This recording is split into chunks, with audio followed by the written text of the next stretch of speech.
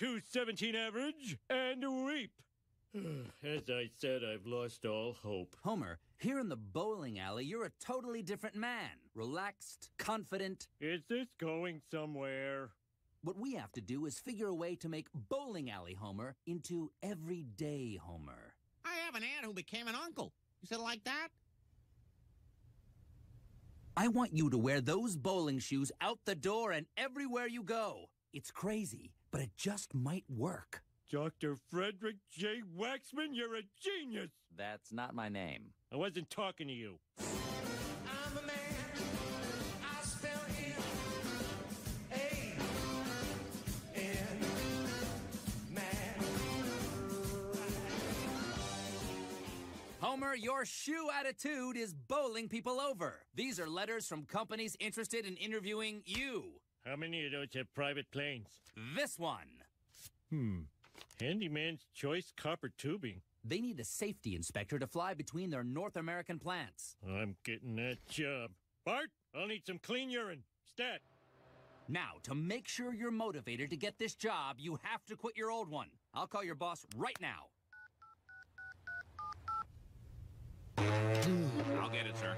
Just set it to voicemail. You here for the safety inspector job? Well, I can see the position of handsomest CEO is already taken. I like you already. If you can write your name so I can read it, you're in. Hmm. Hmm. I got the job! Yay, Dad! We knew you could do it.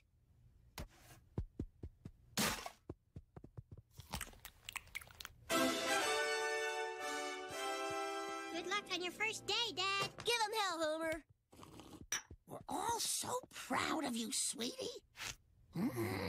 I'm gonna get there early so I can get in good with the lunch truck guy. Find out if he has a wife. We could double date.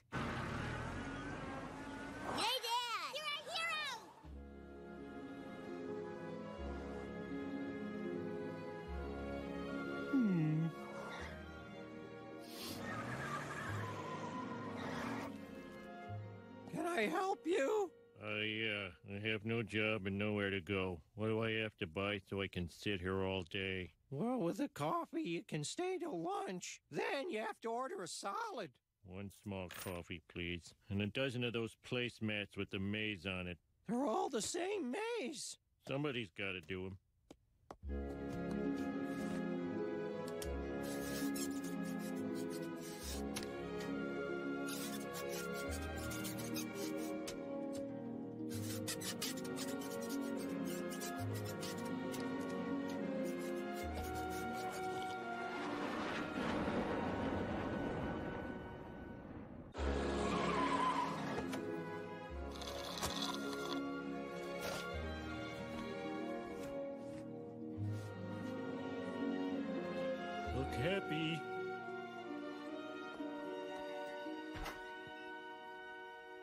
So, how was your first day at your new job?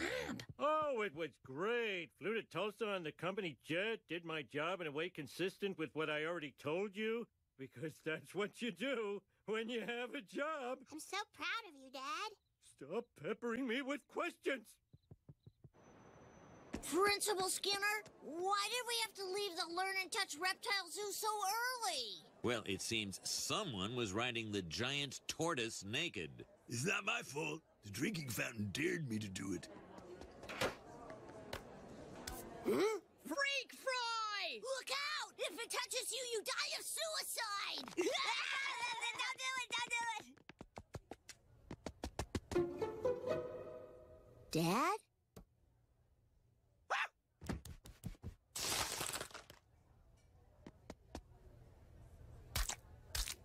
I know it's you, Homer.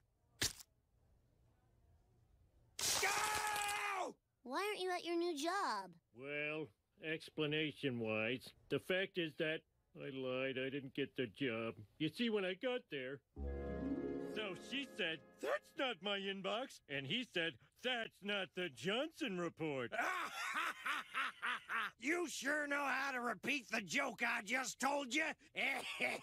but as a formality, I must ask do you know anything about copper tubing? Um, Well, uh. Come on, say you're hired. No. Say it. Leave your resume with Cheryl. Say it. Security! Security! Stop saying security. Come on, just give me the job. I like your hat. Come on. Say the word. Give it.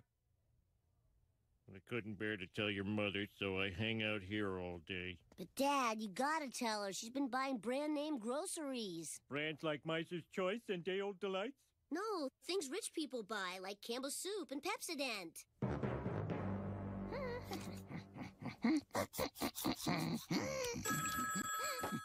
Hello? Honey, there's something I have to tell you. It's bad news, isn't it? I should never get my hopes up. Nothing ever works out for us.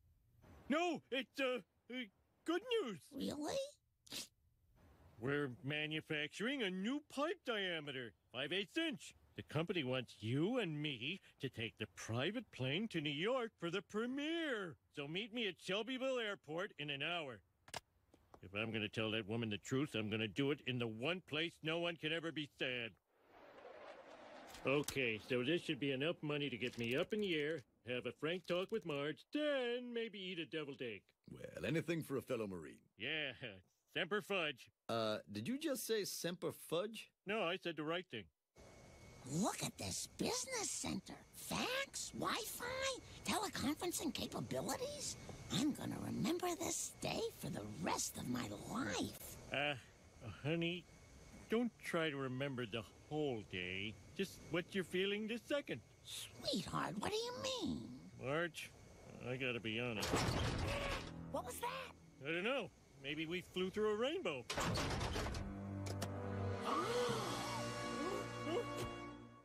I didn't think I'd be flying today, so I was doing heroin. Oh, hmm? Homie, what are you doing? You don't know how to fly? I drove a car over a cliff once. How different could it be? Hmm. What's the ocean doing in the sky? There's only one man who can help us now. Hello, and welcome to Success. It's Marge Simpson. I need you to coach like you've never coached before. Marge, please, I'm with a client. Now you listen here, bub. We paid you all the savings we had in the world. You can at least tell my husband something encouraging. All right, Homer, what is it you're attempting to do? Win over a difficult client? I'm trying to land a plane with no experience. Homer, I gotta tell you, I'm not very good. I went to the Harvard of the South. Duke, that's good. Not Duke. Vanderbilt? A little further south. Don't make me say it. Deathman has reported you to the FAA. This near miss will be investigated by a board of three retired pilots. Okay, Homer. I don't know anything about planes, but I know about you. You have what made America great. No understanding of the limits of your power and a complete lack of concern for what anyone thinks of you. So you'll land that plane. And do you know why? Because I heard some guy say you couldn't. What? I'll show him. I'll show that guy. Elevation 300 feet, 200 feet, 50 feet. You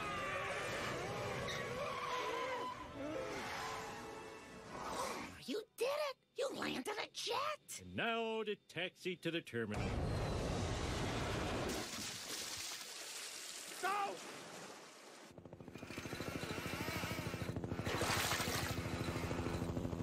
Marge, flying in private jets is great and all, but it's just too dangerous. That's why I've decided to go to the plant and beg Mr. Burns for my old job back. I understand, homie.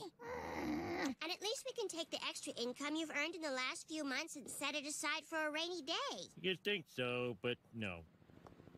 Mr. Richie, your American Music Awards are weighing us down. Let them go. You let yours go. I don't have any. That's right. You